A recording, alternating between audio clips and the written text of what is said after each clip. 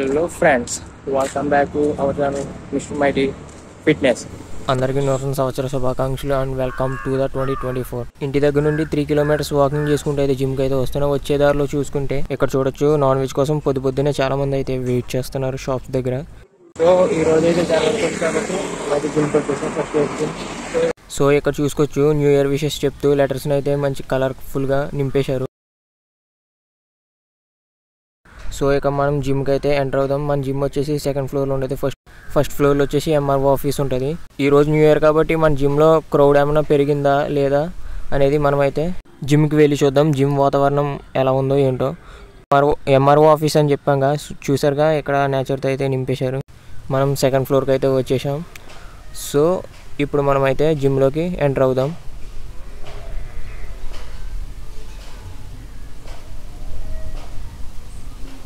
ఇక్కడ చూసుకుంటే జిమ్ అంతా చాలా ఖాళీగా ఉంది. నేను ఏదో ఎక్స్పెక్ట్ చేసి అయితే వచ్చాను జిమ్ లోపల.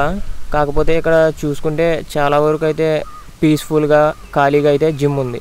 చూడడానికి జిమ్ అయితే ఖాళీగా ఉంది కాబట్టి నేనైతే అనుకున్న వర్కౌట్స్ అన్నీ ఏ టెన్షన్ లేకుండా ఫ్రీగా కంప్లీట్ చేసుకోవచ్చని. ఇక మనం వర్కౌట్ చేయడానికి ముందు మనం వామప్ అయితే ఫినిష్ చేసుకుందాం. నేను ఇచ్చే సజెషన్స్ అయితే ఇవే. వర్కౌట్ చేసే ముందు అయితే ఫుల్గా వామప్ అయితే చేయాలి. చాలామంది వామప్ అంటే ఏదో ఒక ఐదు నిమిషాలు చేసి వర్కౌట్స్ అయితే స్టార్ట్ చేస్తారు. అలా చే- చేయడం అయితే తప్పు.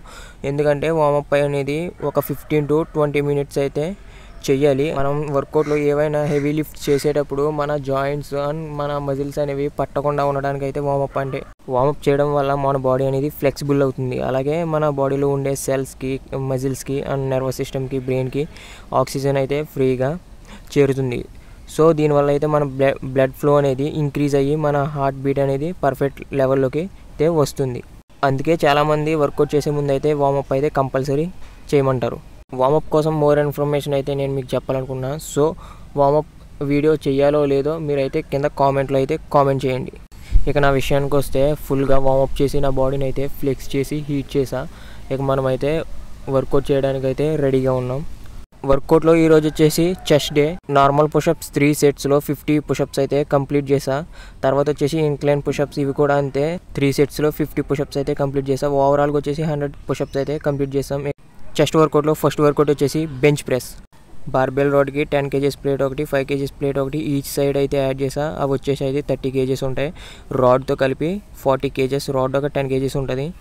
ఓవరాల్గా వెయిట్ వచ్చేసి అయితే ఫార్టీ కేజెస్ అయితే ఉంటుంది. ఫస్ట్ వచ్చేసి flatted bench press bench press చేసేటప్పుడు చాలామంది చేసే మిస్టేక్స్ అయితే ఇవే. అవి ఏంటంటే ప్రాపర్ పొజిషన్ ఉండదు చేయడం వల్ల షోల్డర్స్ ఎఫెక్ట్ అవుతాయి కానీ మన చెస్ట్ మీద ఏమాత్రం ప్రెషర్ అయితే పడదు. బెంచ్ ప్రెస్ చేసేటప్పుడు మన బ్యాక్ పొజిషన్ వచ్చేసి పైకి కొద్దిగా కర్వ్ షేప్లో ఉంచి మన చెస్ట్ అనేది హోల్డ్ చేయాలి. తర్వాత మన హ్యాండ్స్ని షోల్డర్ పొజిషన్లో టూ ఇంచెస్ అడ్జస్ట్ చేసుకుని బార్బెల్ని మన మిడిల్ చెస్ట్ వరకు తీసుకొచ్చి పైకి అయితే ప్రెస్ చేయాలి. సో ఇక్కడతో నాకు ఫస్ట్ సెట్ అయితే కంప్లీట్ అయిపోయింది. ఇంకా టూ సెట్స్ అయితే మిగిలినాయి. ఈ టూ సెట్స్లో నేనైతే టెన్ కేజీస్ అయితే డిక్రీజ్ చేసా వెయిట్స్ నుంచి. ఈ టూ సెట్స్లో పార్ట్నర్ సపోర్ట్ తీసుకుని థర్టీ కేజీస్తో అయితే ఈచ్ సెట్ వచ్చేసి ట్వంటీ రెప్యుటేషన్స్ అయితే కంప్లీట్ చేసాం. ఓవరాల్గా flatted bench press three sets విజయవంతంగా పూర్తి చేసాం. సెకండ్ వేరియేషన్ వచ్చేసి ఇంక్లైన్ బెంచ్ ప్రెస్ సో దీంట్లో ఏంటంటే మన అప్పర్ చెస్ట్ బిల్డ్ అవ్వడానికి అయితే పర్ఫెక్ట్గా యూజ్ అవుతుంది. వెయిట్స్ వచ్చేసి అయితే ఏమీ మార్చలేదు. Same thirty kgs incline bench press చేసేటప్పుడు ఏంటంటే కంపల్సరీ మన పార్ట్నర్ సపోర్ట్ అయితే తీసుకోవాలి. ఎందుకంటే మన బాడీ హెడ్ పొజిషన్ వచ్చేసి బార్బెల్ రోడ్కి దగ్గరగా ఉంటుంది కాబట్టి సో మన హ్యాండ్స్తో అయితే మనం పుల్ చేసుకోలేం రాడ్ ఇక పొజిషన్ విషయానికి వస్తే మన బ్యాక్ని బెండ్ చేసి మన చెస్ట్ అనేది హోల్డ్ చేసి బార్బిల్ని అయితే మన అప్పర్ చెస్ట్ మీదకి తీసుకొచ్చి ప్రెస్ చేయాలి. ఇక్కడ నేను వచ్చేసి ఫిఫ్టీన్ రెపిటేషన్స్ వరకు ఓన్గా అయితే లిఫ్ట్ చేసుకున్నా. సో మిగిలిన టెన్ రెపిటేషన్కి వచ్చేసి పార్ట్నర్ సపోర్ట్ అయితే తీసుకుని ఫినిష్ చేసా. ఓవరాల్గా ఇంక్లైన్ బెంచ్ ప్రెస్లో త్రీ సెట్స్ విజయవంతంగా కంప్లీట్ చేస్తాం. ఇక్కడ బెంచ్ ప్రెస్లో మిడిల్ చెస్ట్కి అండ్ అప్పర్ చెస్ట్కి టూ వేరియేషన్స్ అయితే కంప్లీట్ చేసుకున్నాం. ఇక థర్డ్ వేరియేషన్ వచ్చేసి లోవర్ చెస్ట్ లోవర్ చెస్ట్కి వచ్చేసి ఇక్కడ డిక్లైన్ డంబుల్ ప్రెస్ అయితే చేస్తున్నా. ఇక డంబుల్ వెయిట్స్కి వచ్చేసి మనం ఈచ్ డంబుల్ వచ్చి టెన్ కేజీస్ అయితే తీసుకున్నాం. మన పొజిషన్ని కరెక్ట్గా సెట్ చేసుకుని మన ఆర్మ్స్ని యారో షేప్లో ఉంచి లోవర్ చెస్ట్ మీద ప్రెషర్ పడేటట్టు మన డంబుల్స్ని అయితే పైకి ప్రెస్ చేయాలి. మన చెస్ట్ మీద ప్రెషర్ పడేలా డంబుల్స్ని అయితే పైకి ప్రెస్ చేయాలి. అప్పుడే మన చెస్ట్ అనేది ఎక్స్పాండ్ అవుతుంది. ఇలా డిక్లైన్ డంబుల్ ప్రెస్లో త్రీ సెట్స్ అయితే విజయవంతంగా కంప్లీట్ చేస్తాం. ఇక ఫోర్త్ వేరియేషన్ వచ్చేసి ఇంక్లైన్ డంబుల్ ఫ్లైస్ ఈ వేరియేషన్ ఎందుకంటే మన చెస్ట్లో మిడిల్ లైన్ ఫామ్ అవ్వడానికి అయితే ఇంక్లైన్ డంబుల్ ఫ్లైస్ అయితే చేస్తాం. ఇందులో త్రీ సెట్స్ ఈచ్ సెట్ వచ్చి ట్వంటీ రెపిటేషన్స్తో అయితే ఇందులో సెట్కి ట్వంటీ రెపిటేషన్స్ చొప్పున త్రీ సెట్స్ ఓవరాల్గా సిక్స్టీ రెపిటేషన్స్తో ఈ ఇంక్లైన్ డంబుల్ ప్రెస్ని అయితే కంప్లీట్ చేసుకున్నాం. ఇప్పటికీ బెంచ్ ప్రెస్లో టూ వేరియేషన్స్ అయినాయి అలాగే డంబుల్ ప్రెస్లో టూ వేరియేషన్స్ అయినాయి. ఇంకా కేబుల్ మిషన్లో త్రీ వేరియేషన్స్ అయితే చేయాలి.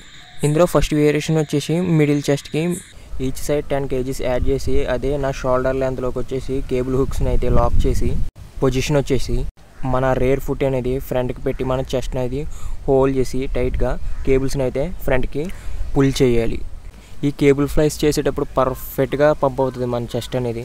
అలా వచ్చేసి మిడిల్ చెస్ట్కి వచ్చేసి three sets and twenty twenty reparation చొప్పున అయితే ఫినిష్ చేసుకున్నా. ఇక స్టాండింగ్ కేబుల్ ఫ్లైస్లో సెకండ్ వేరియేషన్ వచ్చేసి ఇక్కడ మనం అప్పర్ చెస్ట్కి చేయబోతున్నాం. అప్పర్ చెస్ట్లో వచ్చేసి ఇక్కడ మన కేబుల్ పుల్లీస్ అనేది డౌన్వర్డ్ డైరెక్షన్లో సెట్ చేసుకుని పొజిషన్ సేమ్ పొజిషన్ తీసుకుని కేబుల్ హుక్స్ని కింద నుంచి పైకి ప్రెస్ చేయాలి.